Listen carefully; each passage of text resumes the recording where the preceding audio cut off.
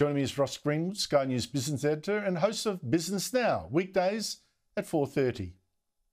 Ross, thanks for joining me. The government says it's going to create 1.3 million jobs in 5 years. Isn't it true that Labor could make exactly that same promise with the same lazy trick, just open our doors to more migrants? Oh, it's so true. I mean, here's the problem. There are skills shortages in Australia right now. Where do the 1.3 million workers come from? Now, they say this is about getting the participation rate up. In other words, getting more um, sort of older workers or maybe more women into the workforce. But the reality is that Australia already has one of the highest participation rates in the world. It's been rising fast already. So you're right. The way in which they'll get those workers is to import them, bring skilled migrants in from overseas and the budget told us that this year.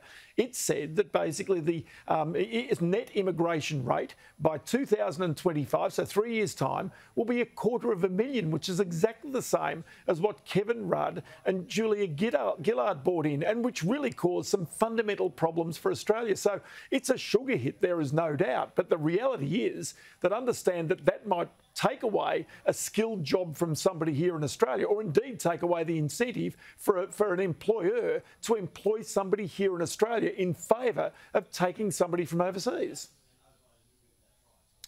Look, this whole immigration Ponzi scheme really gets me riled.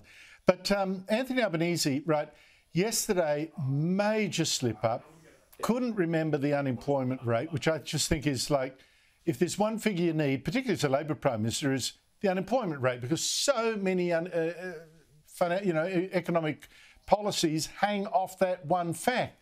Now, it seems to me it's been caught out today. The story in the Fin Review, uh, Financial Review, he's been peddling the line that the workforce is getting more and more casualised. This is the ACTU line as well. Casualised, then this is no good. We've got to do something about it. It's actually not true, is it? No, it's not true. In fact, under this current government, the number of casual workers has actually declined, not increased. Um, the real increase in casual workers happened again under a Labor government, not under a coalition government. But this is a line that's been pushed out there for a very long time. Uh, and what's also failed to be recognised here is that many workers deliberately work as casual labourers. Now, there are some who might not wish to, but the reality is that there are many who want to work with an ABN number, want to work in that sort of, if you like, casualised manner so that they can pick and choose when they work. They want to have control of their own tax affairs and indeed of their own superannuation.